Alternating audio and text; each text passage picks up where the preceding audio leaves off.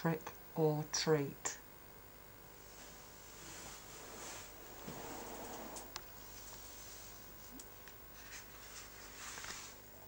Hi, I'm PC Naomi Jolliffe. I'm an ASB coordinator.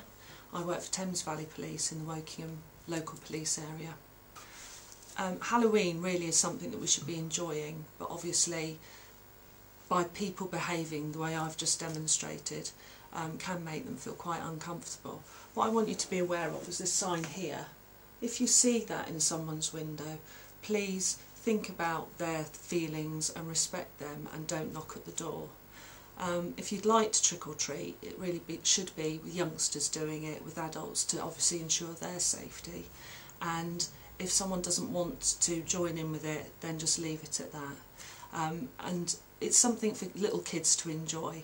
If you're old enough to be out there on your own, I'd really say that actually you should possibly be doing your own parties, getting involved with youth clubs. Um, there's a very good website that would give you um, information on things to do if you're of the older age range and that's activeyouth.co.uk that's run by Wokingham Borough Council. Um, and it should give you some information of things to do if you're older.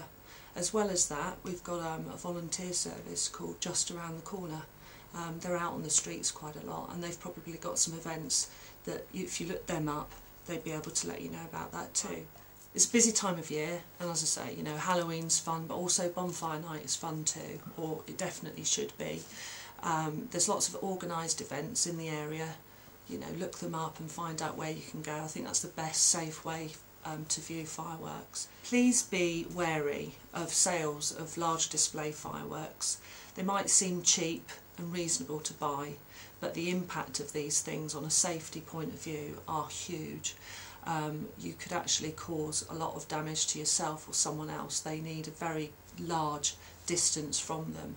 Um, and the other thing is, you know, we'd be really interested in any suspicious sales. If someone approaches you asking you to purchase a firework that, you know, if it was in a bona fide shop price about £25 and you're getting it for £3, there's got to be something um, suspicious about that.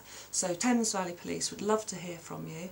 Uh, you can call them on 08458 505 505 or you can report this anonymously on the Crime Stoppers number which is 0800 555 111. I've mentioned um, being able to buy fireworks at um, reputable stores earlier. Um, please, you know, consider doing this and don't embarrass the shopkeeper by trying to buy them underage. Um, there will be test purchasing um, projects being run throughout the area um, and as I've said before it's really a time to enjoy yourself and have some fun um, and so with that I say just have some fun and enjoy yourself. I certainly will be.